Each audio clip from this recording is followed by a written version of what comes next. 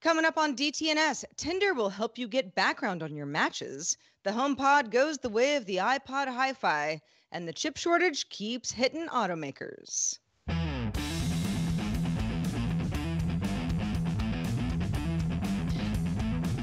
This is the Daily Tech News for Monday, March 15th, 2021. From Studio Redwood, I'm Sarah Lane.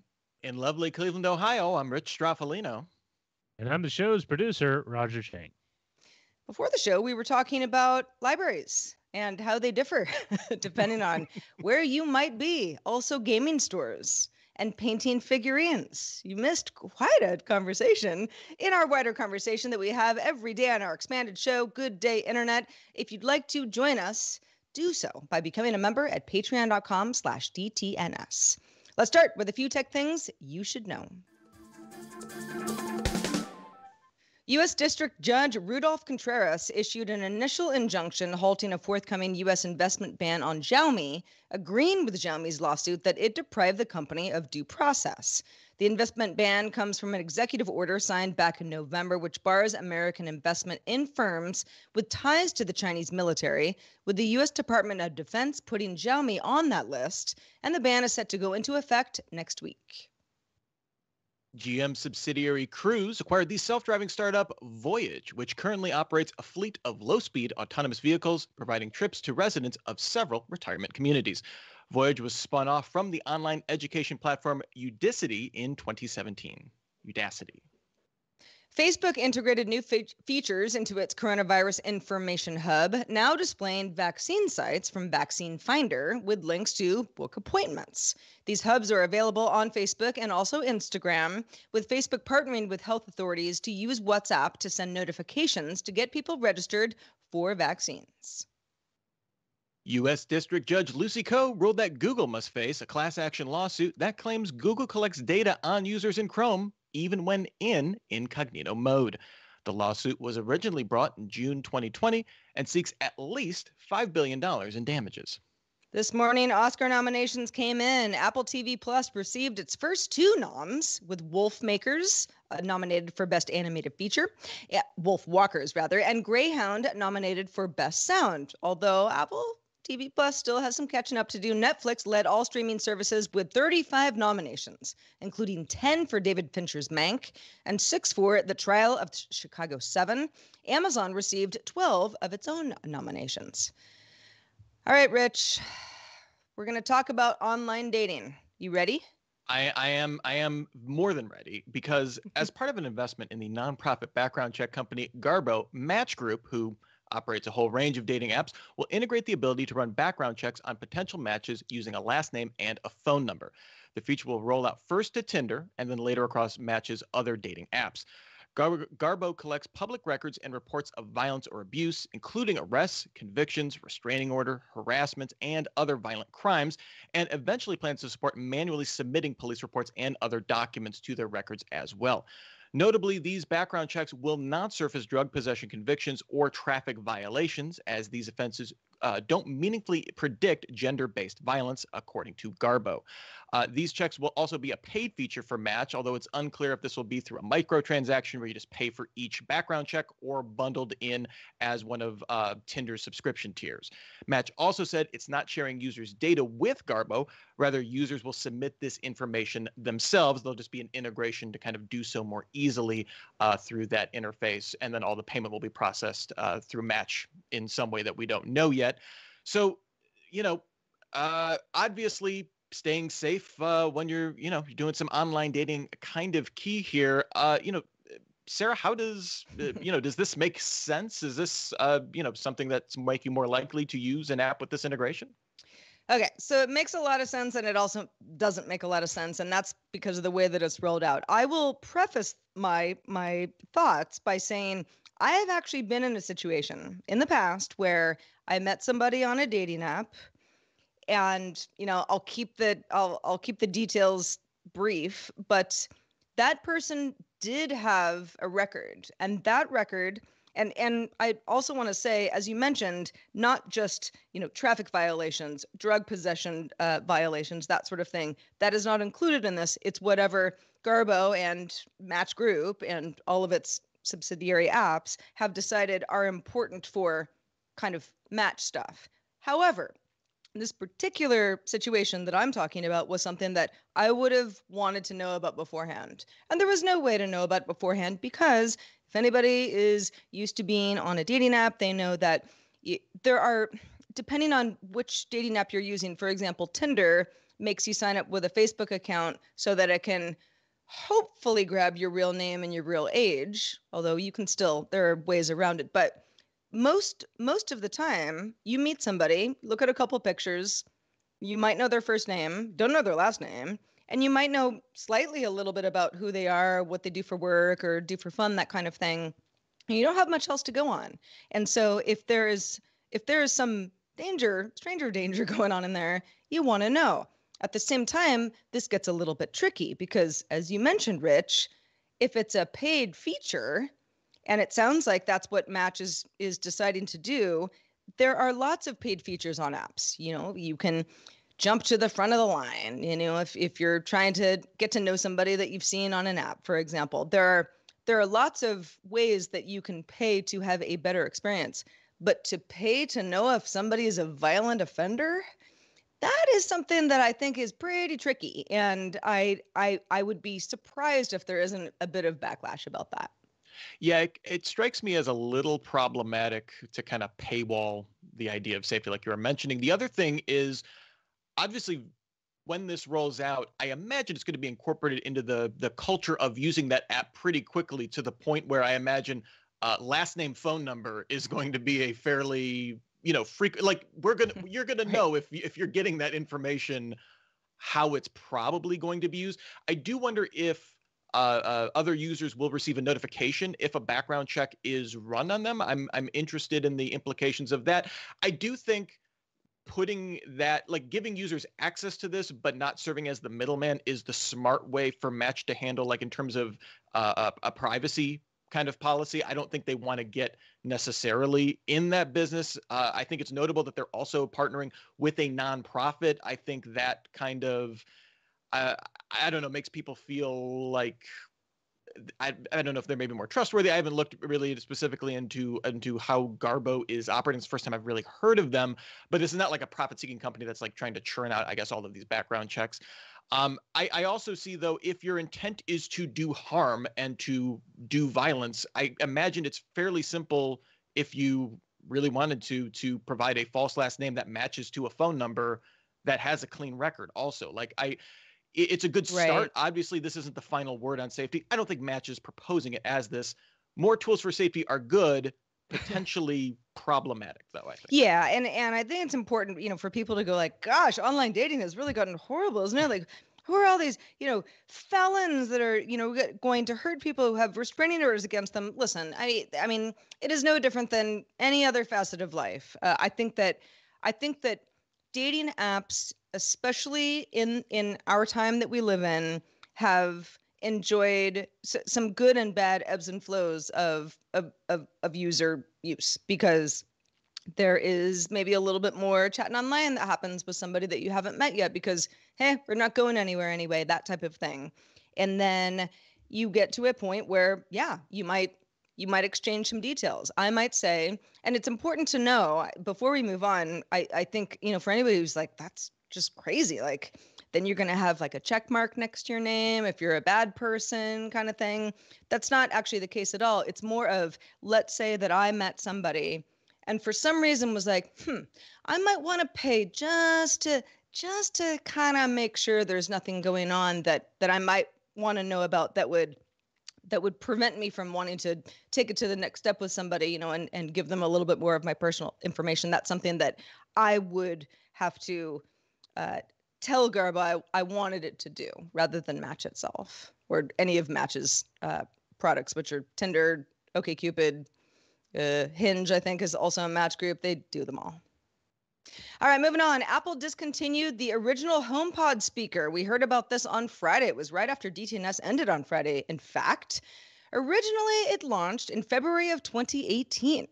At the time of its release, the smart speaker had a lot going for it, included eight speakers, customized sound setting based on the room you were in, all very Apple things. Offered tight integration with Apple Music and Siri, eventually updated to get AirPlay 2, multi room support, multi speaker support. Initial reviews praised the sound quality as among the best in the category. Now, Apple never disclosed how well that HomePod sold, but Strategy Analytics estimated back in 2018 by Q2, Apple had 70% of the premium smart speaker market. Now, 6% of the overall market, but 70% of the premium smart speaker market, which includes speakers made by Sonos and Bose, stuff that's above $200. The company now says it will focus on the $99 HomePod Mini going forward, so the HomePod Mini survives. Original HomePod going out to pasture. At least the HomePod lasted longer than Apple's other ill-fated $350 speaker. Rich, you remember the iPod Hi-Fi? I do. It's uh, it's a glorious design and complete lack of features other than plugging an iPod into it. Uh, marked it uh, for a swift demise. Uh, you know, I don't think we can think of the HomePod, uh, I guess, as a failure. I mean, clearly it it obtained some market share. I just think that that's not where the market uh, for smart speakers is going. Kind of this really high priced area, and I think ultimately the problem that it had kind of penetrating into to that wider smart speaker market is it really built itself on sound quality. Like that was the thing. It you know Apple had spent supposedly years. I mean, like I, I think it was like four or five years was the a lot of the reporting that they were working on this and doing all this audio testing for it. And I feel like audio quality is a tertiary consideration behind like cost, convenience, integration with with other services when it comes for people looking at a smart speaker uh, and that was something that you know that like the homepod kind of emphasized it did very good at something but ultimately wasn't a priority for people especially when apple didn't you know still doesn't offer a, a hi-fi music service to kind of if you if you're really an audiophile to take advantage right. of that yeah, back in, I believe it was the holiday season of 2018, where we routinely on DTNS have our prediction show. My prediction that year, because it was the HomePod's first year, was Apple's going to discontinue the HomePod and just make Siri more available in other speakers that are already doing very well in this crowded market. I wasn't totally right. it took a few years. And that's not exactly what Apple's doing. Obviously, the HomePod Mini at 99 bucks is that's more of that sweet spot. Mm-hmm. But you make a really good point, Rich, is and I think about this all the time. I like good audio quality. I have two Sonos ones. I use them all the time. I certainly listen to music, but I also listen to a lot of non-music stuff. For example, you know, I listen to my my morning podcasts when I'm trying to catch up on the news, when I'm just waking up in the morning. Do I need the audio quality to be top notch? No, because it's all podcast stuff. It's it's what it's whatever that you know particular creator even submitted in the first place. you know, there's I don't have a whole lot of control over that kind of thing, and there's not you know for the most part besides you know music stings here and there kind of like how you hear on this particular show it's not super music focused so i just i feel like apple is late to the game in a lot of product categories. Apple's known for this, and Apple kind of goes like, "Huh, okay, here's the market we need to get into. Let's introduce something that's way more expensive, but what we think is better than the competition." Very successful doing that in lots of arenas. HomePod, mm, little late to the game. All right. The ongoing global chip shortage continues to impact a wide range of industries. Sure, the latest NVIDIA and AMD graphics cards are nearly impossible to find in retail, but we're now seeing the automotive industry having to adjust production as a result as well.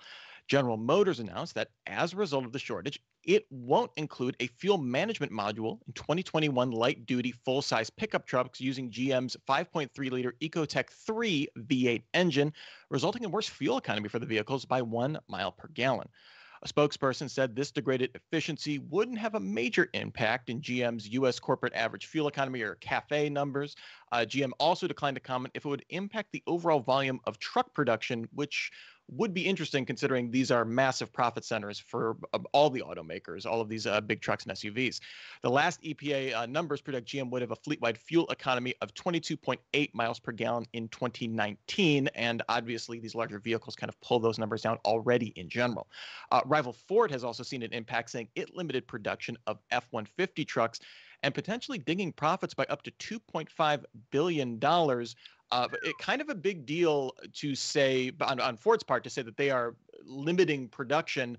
Um, and we also even heard, you know, kind of prepping for this story, uh, producer Amos uh, said that it's uh, this chip shortage has also impacted inventory on lots, uh, seeing that there is just, you know, uh, there's it's there's like a six month lead time to kind of get something from the factory custom uh, as a result of, of a lot of these shortages, as opposed to just buying something that's on the lot. So, you know, uh, obviously, as these vehicles become more tech platforms, very tightly integrated with a number of, you know, with the tons of computer systems and stuff like that, not surprising to see this impact. But, you know, to see pieces kind of being left out uh, as a solution to that, uh, surprised uh, to to see that, Sarah?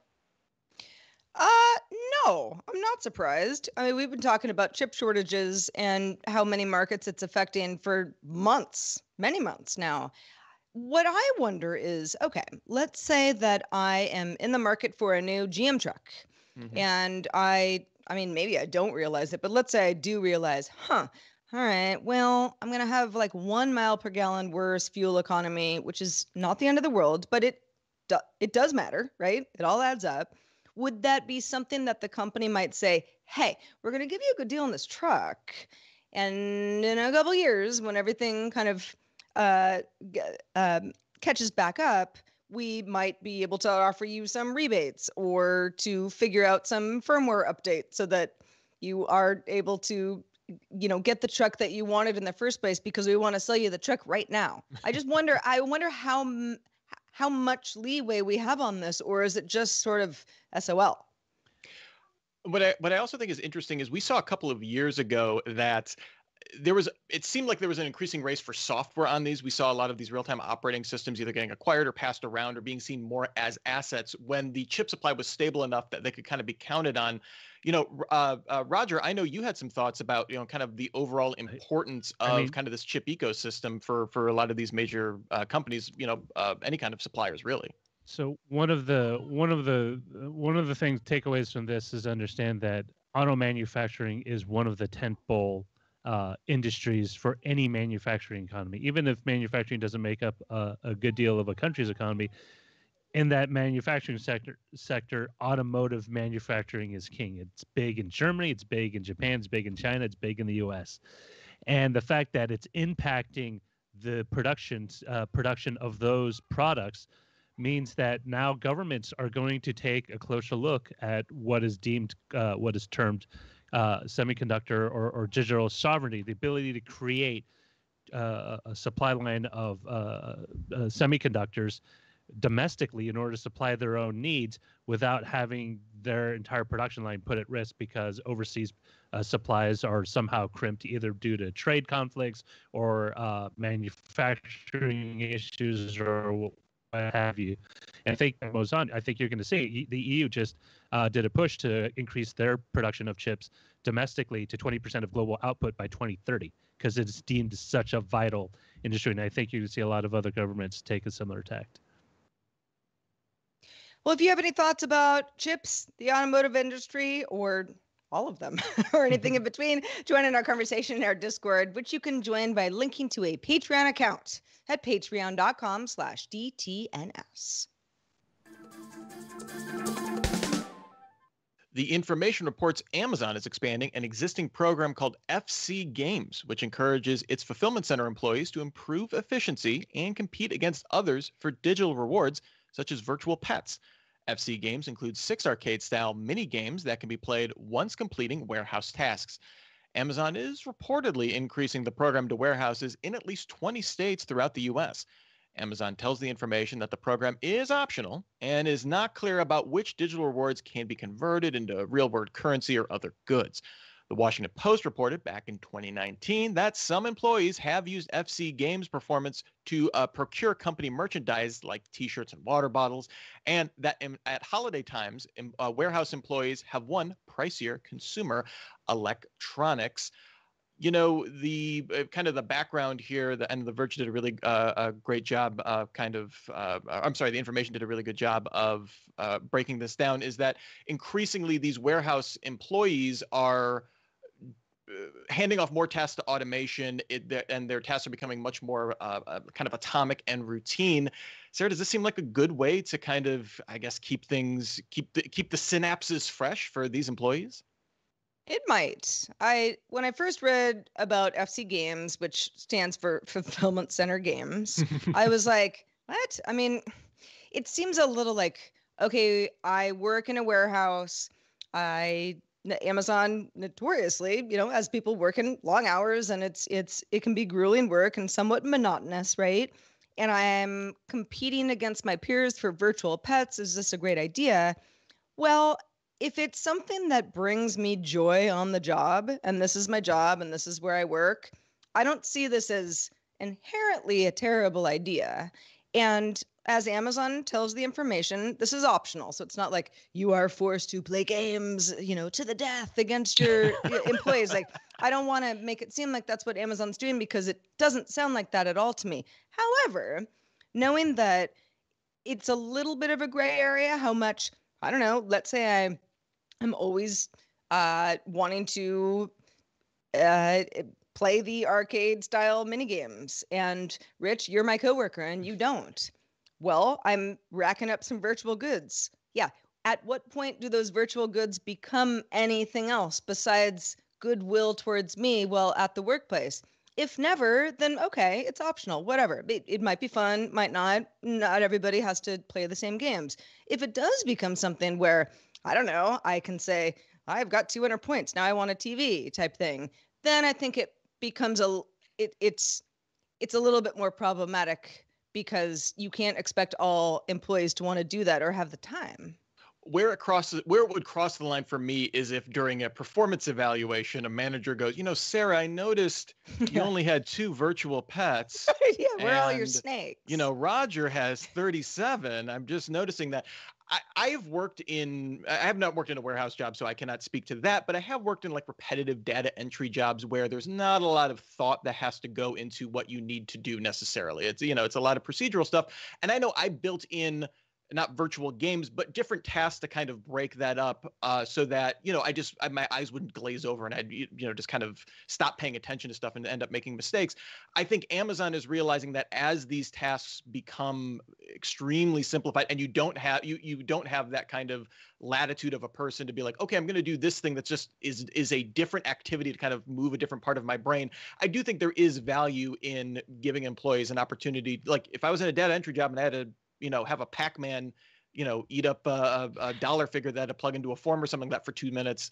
I guess that'd be okay. I also think there is like a little bit of a team building of being like, hey, our mm-hmm. warehouse is the top in Ohio, and you know we're top at this game, and you know that's you know everybody play on their you know play for five minutes, and we can we can win that you know set of steak knives or something like that. I, I don't think that's inherently bad. Uh, again, when it comes to the performance evaluation stuff, that's where I, I would I would definitely raise some eyebrows at that point. Yeah, I'm with you on that.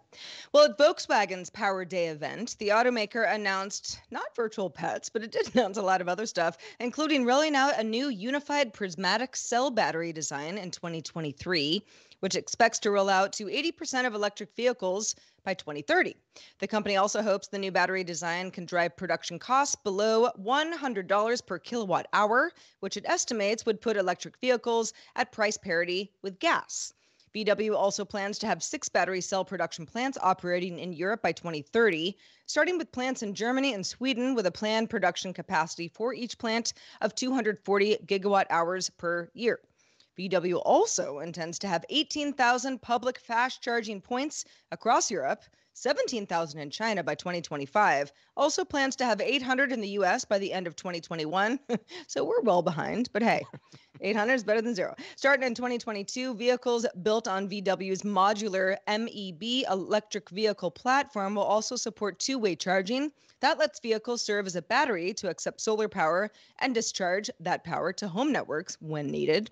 And the company introduced an EV charger robot intended for fleet owners that is reportedly adorable. I don't know, Rich. A lot of stuff coming out of VW today. What what what struck a chord with you? What strikes me as it's a it's a very targeted kind of announcement by Volkswagen to address all of the pain points that we're where we have right now in the electric vehicle market. You know, this is is a market that is it is rapidly it's not mature, I don't think, but it's rapidly maturing. Prices definitely have come down in the last five years very significantly. Uh, but you know, still not at a price parity with gas. Okay, we got this new battery design that's supposedly going to offer more capacity, be cheaper to make. That's great. uh, you know, we there's there's a major problem. Tesla's dealing with this right now in terms of we need to be able to produce all of these if we're going to replace. You know, everyone's coming out with very aggressive projections to say we're going to replace substantial amounts of our our fleets with electric vehicles. We need to be able to make batteries for these. Uh, Volkswagen obviously targeting that as you know, let's not have that be the bottleneck going forward. Tesla doing the exact same thing, and then the charging network. You know, that is, I mean, that is for a consumer, that's where the range anxiety comes in. You know, if, if they can, they're partnering very smartly uh, on a lot of these with uh, BP, uh, with utility providers, putting these on major highways. You know, very smartly deploying these. Uh, at least when it comes to Europe, I don't know what the partnerships look like in China. Um, I, I, would be, I would love to hear more partnerships in the U.S. Just selfishly for me, but I, I mean, Sarah, uh, you know, what about this? Uh, you know, kind of this two-way charging. I know that kind of struck out for you. Yeah, very much so, especially because I unfortunately have the power go out at my house quite often. Uh, everyone knock on wood. Hopefully, it won't happen for the rest of the year. But when it does, I have uh, many times been like, huh, well, shoot, my phone's about to run out of batteries. I got to sit in my car for a while and just charge my phone. I mean, I have no other choice. Well, I could drive around in my car, but you know, it's it's my car that is where the only power reserves are left. And if that could somehow feed into my home network in a way that that makes sense and wouldn't necessarily require me to install solar panels on the top of my house and as a renter I wouldn't be able to do that anyway. That is really cool. What I think is really interesting with that MEB platform is it kind of opens up this idea of electrification not just in in your vehicle but as kind of an ecosystem for your whole home and what's where I think Volkswagen has an opportunity there is they're opening up that platform. Ford is building a vehicle on it already. They're seeking uh, partnerships with other startups to kind of build off of that platform. So you can, you know, th- theoretically, this two-way charging. Uh, I, you know, th- I don't know if that's a proprietary VW thing, but if they can expand that so that it's kind of a common thing with vehicles built on this platform, it opens up a, much a much more utility for an electric vehicle in a really significant way that is exciting. Absolutely. All right, let's check out the mailbag. Boy, NFTs. People love talking about NFTs. Uh, we got a couple of mailbags. First one comes from Keith, the geeky trucker, on this very topic. Keith says, I'm 63, so I'm old. Now, Keith, no one thinks that you're old, but okay, your words, not mine. My take on NFT, says Keith, is a baseball comparison. If you're at a game and a player hits a historic home run, that ball is no different than any other ball used in the game. The difference is the tr- certificate or authenticity that proves that ball was the one hit. That's my understanding as NFT acts as the certificate. And I'm interested to know what you think about this or if I'm wrong. Keith, I think you're actually spot on. That's that's a great way to think about it. I think a lot of people are like, well, hold on a second. You know, digital goods can't they be replicated easy easily? What what it, you know what does it mean to have one version of something versus another?